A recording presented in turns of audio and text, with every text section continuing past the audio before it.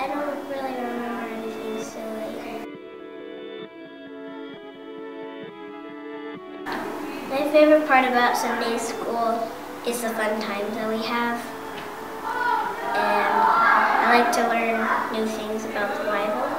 I like, um, I like when we do stuff all as a class and we Act out some of the stories. That's fun. My favorite Bible story is when Jesus is born. What do you like about it?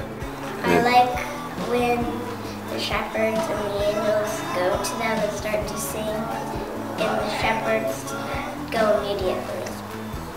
Some of my friends in Sunday school are Allie, Zoe, Eden, a lot, Hannah. A lot of them are really good friends. Keep it real, Banana Peel.